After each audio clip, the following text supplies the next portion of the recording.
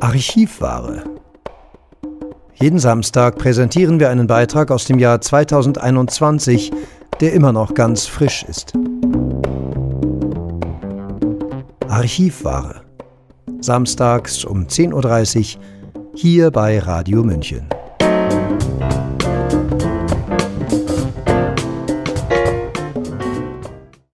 Herzlich willkommen bei Radio München. Manche behaupten, die Corona-Krise sei in Wahrheit eine Bildungskrise. Auch die Kanzlerin zeigte sich jüngst unsicher in Sachen Infektion und Infektionsnachweis. Was weiß die Medizin tatsächlich und wie viel davon wird klar und verständlich in die stark betroffene Bevölkerung transportiert? Wir starten heute einen zweiten Versuch, einen kleinen Teil zur Aufklärung beizutragen und unterhalten uns erneut mit Dr. Paul Brandenburg, dem Arzt, Publizisten und Unternehmer, der als promovierter Arzt Expertise mitbringt. Er hatte sich in seiner Doktorarbeit nämlich mit antigenabhängigen Immunantworten beschäftigt. Wir wollten zunächst von ihm wissen, welchen Teil der immunologischen Arbeit die Impfung, vor allem diese neuartigen sogenannten Impfstoffe, verstärken, vielleicht sogar ersetzen können. Wieder eine Frage, über die ich eigentlich fünf Stunden reden müsste. Warum? Weil das Wort Impfung ungefähr so spezifisch ist wie das Wort Essen.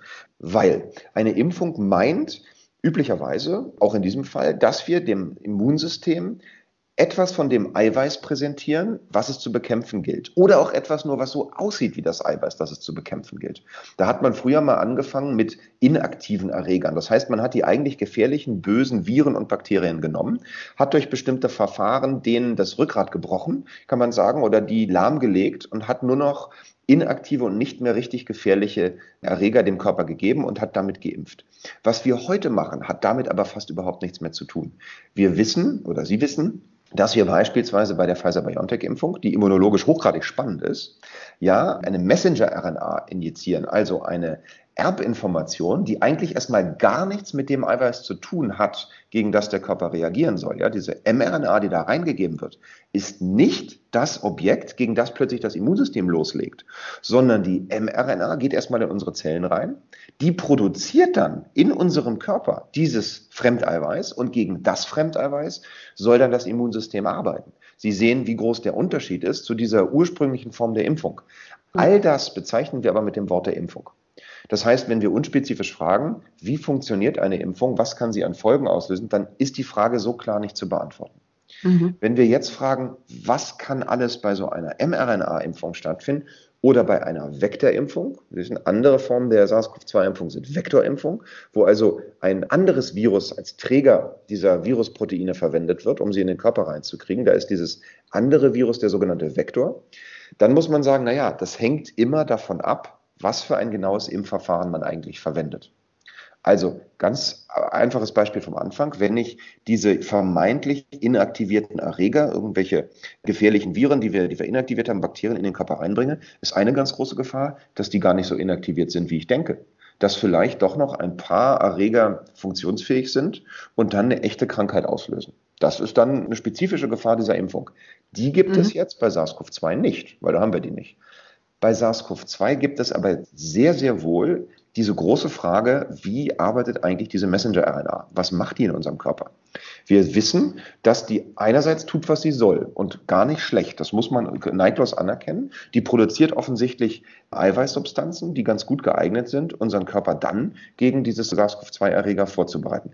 Damit haben wir überhaupt nicht die Frage beantwortet, ob das nötig und sinnvoll ist. Da habe ich eine ganz andere Meinung. Aber sie macht das erstmal. Die Frage ist, was macht sie noch?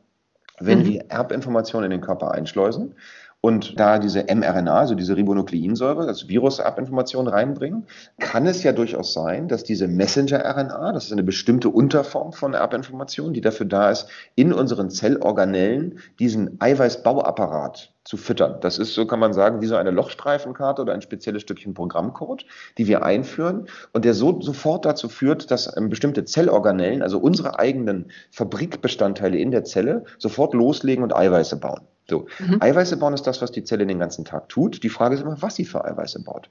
Wenn sie die falschen Eiweiße baut, dann nennt man das Krebs, das Endergebnis. Wenn sie andere falsche Eiweiße baut, dann kann das eine gutartige Erkrankung sein und kann zum Beispiel irgendwelche hormonvermittelten Körperreaktionen auslösen, die wir nicht wollen. Wenn sie wiederum falsche Eiweiße baut, dann kann das eine ganz schlimme Entzündung an der Stelle geben. Also wir greifen auf einer sehr grundlegenden Ebene unseres Zellstoffwechsels ein und wir müssen ganz ehrlich sagen, wir wissen nicht, ob diese injizierte Messenger-RNA sich beispielsweise auch mit unserem eigenen Genom zum Teil verbindet. Das tut sie wahrscheinlich oder möglicherweise, da gibt es erste Anzeichen. Das ist auch noch kein Grund, in Panik zu geraten, denn Messenger-RNA hat in der Regel eine sehr, sehr kurze Halbwertszeit. Das ist sozusagen RNA, die dann schnell abgebaut wird, die dann zerfällt und die immer wieder nachgeliefert werden muss. Aber wir müssen all diese Fragen beantworten, bevor wir wirklich sagen können eines Tages, diese mRNA-Methode ist sicher und wirksam anzuwenden auf lange Sicht. Und da haben wir ganz einfach keinerlei Daten zu bisher. Mhm. Welcher Effekt ist denn der in diesem System, der zu den Blutverklumpungen führt? Gute Frage. Die ehrliche und kurze Antwort lautet, ich weiß es nicht. Alles deutet darauf hin, dass eine entzündungsvermittelte Reaktion diese Blutverklumpung verursacht. Blutverklumpungen sind erstmal eine absolut wichtige und gute und sinnvolle Reaktion des Körpers in den allerfrühesten Formen von Entzündung. Warum? Im Blut sind ganz viele verschiedene Zellbestandteile, die zum wesentlichen Teil dafür verantwortlich sind, Infektionen an einer Stelle zu bekämpfen. Die erste Maßnahme, die so ein Körper ergreift, ist, so wie wir das ja auch machen, wenn wir Schaden begrenzen wollen, den Schaden erstmal lokal begrenzen, die Ausbreitung zu verhindern. Die Blutzellen, die in irgendeiner Stelle an eine Infektion treffen, das jetzt ein Virus, ein, ein Bakterium, ein anderer Erreger ist, versuchen den lokal zu binden, den irgendwie zu ummauern und den davon abzuhalten, sich im Körper zu verbreiten. Da ist die Blutverklumpung ein ganz wichtiges Instrument dafür, weil die Blutverklumpung nicht immer bedeutet, dass sich ein großer, riesig sichtbarer Pfropfen an Blut bildet, wo Thrombozyten sind das im Wesentlichen, die dafür sorgen und äh, Bestandteile der Plasmakaskade, der plasmatischen Gerinnung, die sind nicht dafür da, dass sie ein Blutgefäß ganz zumachen, dann haben wir einen Infarkt oder eine Infazierung, also wenn so ein Pfropfen sich in einem Herzkranzgefäß bildet, ist das der klassische Herzinfarkt. Wenn er sich irgendwo in einem Hirngefäß bildet, dann ist das ein Schlaganfall. Das sind die Schadensversionen davon, wenn diese Gerinnung übergeschossen ist und ganz massiv stattgefunden hat. In dem Abwehrbereich findet die Gerinnung eigentlich viel, viel, viel kleiner statt. Bis auf eine so kleine Ebene, dass sie im allerschlimmsten Fall so eine Art generalisierten Infarkt überall im Körper bildet. Man spricht dann von disseminierter intravasaler Gerinnung. Das bedeutet, dass überall im Körper, in ganz vielen kleinen Gefäßen, ganz viel Gerinnung auf einmal stattfindet. Das merkt man paradoxerweise dann oftmals daran als Arzt, dass der Patient messbar eine schlechtere Blutgerinnung hat. Ja, man merkt plötzlich, das Blut gerinnt kaum noch, weil diese Bestandteile, die es braucht, um zu gerinnen, verbraucht werden. Ja, Verbrauchskoagulopathie haben üblicherweise dann Intensivpatienten, wenn die ganz lange laufende chronische Infektion haben. Also wir lernen, diese Blutgerinnung ist erstmal ein guter Mechanismus zur Bekämpfung von Infektionen.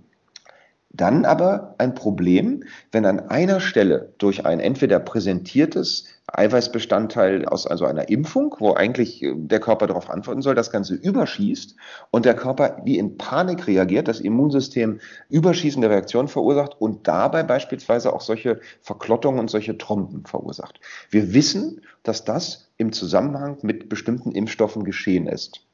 Wir mhm. wissen auch, dass Frauen da besonders äh, gefährdet sind. Das wissen wir aber auch völlig unabhängig von SARS-CoV-2 bei Frauen in anderen Zusammenhängen. Wir wissen, dass bei der Einnahme von oralen Verhütungsmitteln und dann zusätzlich Rauchen beispielsweise sowas auch besonders gefährlich ist. Wir wissen aktuell absolut noch nicht, welche genauen Bestandteile der Impfung oder der Infektion dafür verantwortlich sind, dass die mit diesem Medikament zusammen so reagieren.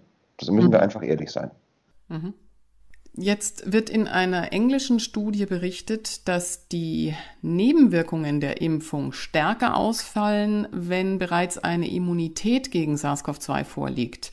Würden Sie denn raten, dass diejenigen, die jetzt Ängste vor Covid-19 entwickelt haben, also vor der Krankheit, und noch nicht wissen, ob sie sich mit der sogenannten Impfung behandeln lassen sollen, dass die eine T-Zell-Testung vornehmen lassen? Oh ja, ganz unbedingt. Warum würde ich das raten? Ähm, ausnahmsweise nicht, weil ich in irgendeiner Weise als Arzt mal mehr die Einnahmen anderer Ärzte unterstützen möchte. Das wird ja immer schnell als Geschäftemacherei abgetan, wenn solche Testungen. In dem Fall muss man wirklich sagen, das ist ein Verfahren, um herauszufinden, ob man sich denn eventuell jede Form von Impfung sparen kann. Wir reden hier von spezifischen Nachweisverfahren für diese spezifischen T-Zellen, die Träger der Langzeitimmunität sind. Da gibt es mittlerweile weit verfügbar im ganzen Land private Labore, die das machen. Da liegen die Kosten so um die 100 bis 120 Euro. Ich habe gerade gestern nochmal geschaut. Hier in Berlin gibt es ein Labor, das das für 122 Euro anbietet. Das ist eine gehörige Stange Geld. Aber wenn man denn nun sagt, ich bin im Zweifel, ich weiß nicht, ob ich vielleicht Covid-19 schon mal hatte oder Kontakt mit dem SARS-CoV-2-Virus, ich habe sogar Grund zu der Annahme zu meinen, dass ich das habe, dann kann man wirklich sagen, wenn man mit diesem Test den Nachweis erbringt, dass man spezielle Lymphozyten hat, die sich auf dieses Virus schon eingeschossen haben, die vorliegen, dann kann man sagen, nach dem Test, wenn der Test positiv verläuft, eine bessere Wahrscheinlichkeit, in Zukunft immun zu sein, die gibt es nach heutigem Wissen der Wissenschaften sicher nicht. Das heißt, wenn ich mit diesem Testergebnis dann komme und sage, jawohl, meine spezifischen T-Zellen reagieren hier auf dieses SARS-CoV-2-Virus, dann ist mit einer Impfung absolut nichts mehr zusätzlich zu gewinnen. Das muss man glasklar sagen. Es ist sogar hochgradig wahrscheinlich, dass diese Form der Immunität erheblich besser ist als die von der Impfung vermittelte Immunität. Insofern, ja, wer da wirklich Angst hat, der kann sich mit so einer Art Test ein erhebliches Mehrwissen verschaffen, was ihm hilft. Mhm. Die Kanzlerin hat in ihrer letzten Fragestunde im Parlament gesagt, diese Pandemie wird erst enden, wenn die Weltbevölkerung geimpft ist. Wissen Sie jetzt von Bestrebungen, von Initiativen, Ihre Erkenntnisse, unsere Erkenntnisse in die Politik und in die entsprechenden Verwaltungsmaßnahmen zu bringen, damit eben nicht völlig gesunde Menschen inklusive unserer Kinder weiter mit diesen Maßnahmen von Quarantäne über Testung und Masken bis hin eben zu dieser überflüssigen, wenn nicht sogar schädlichen Impfung drangsaliert werden? Nein, es hat niemand mir gegenüber heimlich ein Geständnis gemacht oder mir Papiere vorgelegt, die das beweisen. Dennoch bin ich der Überzeugung, dass diese sehr suggestive Formulierung, die Sie gerade gebracht haben, leider völlig zutreffend ist. Wir erleben doch gerade wirklich die Quadratur des Irrsinns. Wenn ein Bundesgesundheitsminister, ich werde nicht müde zu sagen, ein gelernter Bankkaufmann, der mittlerweile hinreichend bewiesen hat, auch nicht den Ansatz einer Ahnung seines Politikfeldes haben, wenn der die Industrie dazu nötigen möchte, jetzt die vollkommen überflüssigen FFP2 FFP2-Masken, vollkommen überflüssig im Zusammenhang mit dieser sogenannten Pandemie, auch noch für Kinder produzieren zu lassen. Wir haben in der Presse entnommen, dass glücklicherweise sich große Maskenproduzenten weigern und sagen, es ist sinnfrei. Wir erleben also, dass Masken von der Politik für Kinder produziert werden sollen. Wir erleben, wie der unsägliche und wirklich gemeingefährliche Karl Lauterbach nicht müde wird, mit seinen Lügen zu behaupten, dass Kinder sich Impfungen wünschen, dass Kinder geimpft werden müssen, damit der Schulbetrieb wieder aufgenommen werden kann.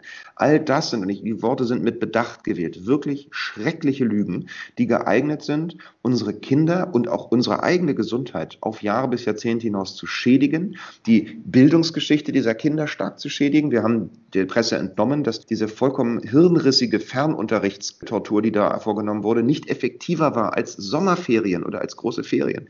Also ja, es gibt doch alle Zeichen der Politik, gehen doch dahin, dass man diese Chimäre der Pandemie aufrechterhält. Sie mühen sich momentan die vollkommen banale Delta-Variante und jetzt eine Delta-Plus-Variante als Teufel an die Wand zu malen, die nun schrecklich sei. Und für diese Delta-Variante gilt genau das Gleiche wie für alle anderen Varianten dieses SARS-CoV-2-Virus bisher. Sie wäre gar nicht aufgefallen, wenn wir nicht so schrecklich intensiv nach ihr suchten.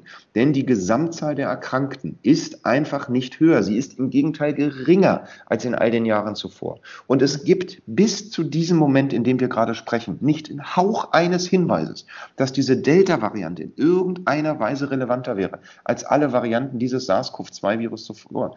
Einfach gesagt kann man immer noch sagen, es ist ein ganz banales Hustenvirus was immer wieder kommen wird. Und jede Fantasie der Ausrottung dieses Virus verrät wahnsinnig viel über den Menschen, der von dieser Ausrottung da fabuliert. Wer sich dieses Vokabulars bedient, ja, dieser kriegerischen Kampfformulierung, dieser Fantasien der Ausrottung, der macht damit eigentlich offenbar, dass er selbst in Unkenntnis der Medizin argumentiert.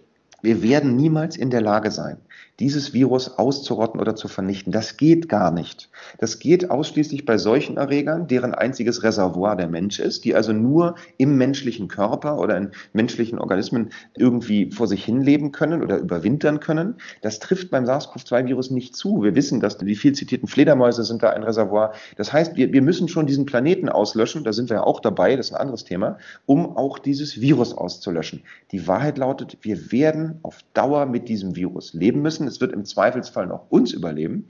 Und es ist ein Virus wie so viele andere, für das überhaupt keinerlei pandemische Sonderregeln mehr gelten müssen.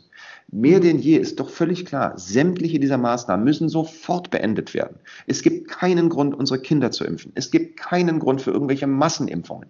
Es ist wie immer, wir müssen uns die Vorerkrankten und auch die älteren Menschen, die deswegen immunsupprimiert sind, die müssen wir uns anschauen. Und dann ist es gut und richtig und schön, wenn wir da auch Impfstoffe haben, um gegen dieses Virus zu arbeiten.